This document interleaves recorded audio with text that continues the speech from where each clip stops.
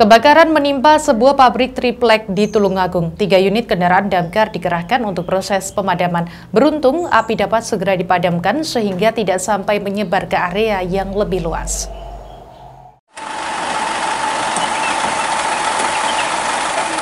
Sebuah tempat produksi triplek di Desa Gamping, Kecamatan Campur Darat Tulungagung mengalami kebakaran.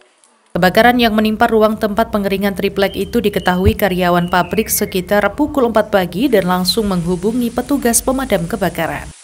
Dua unit truk pemadam dan satu unit truk suplai air milik Damkar Tulungagung dikerahkan ke lokasi untuk memadamkan api. Beruntung, api dapat dipadamkan sehingga tidak sampai menyebar ke area yang lebih luas di dalam pabrik.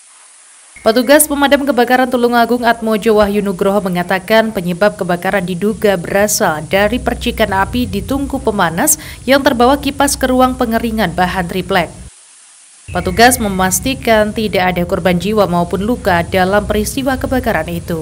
Untuk kebakaran kita terima berita jam 04.15 menit kita langsung luncurkan tiga armada informasi pabrik plywood yang terbakar di wilayah eh, campur darat Dusun Cerme.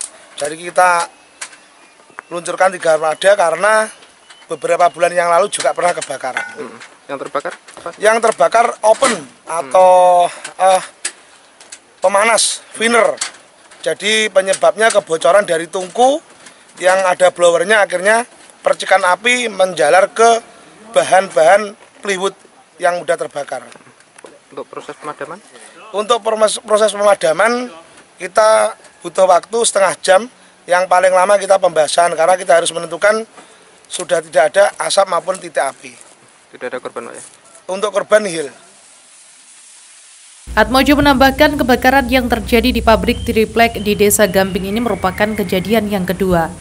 Beberapa bulan yang lalu pabrik itu juga mengalami hal serupa. Dari Tulungagung, Agus Budianto melaporkan.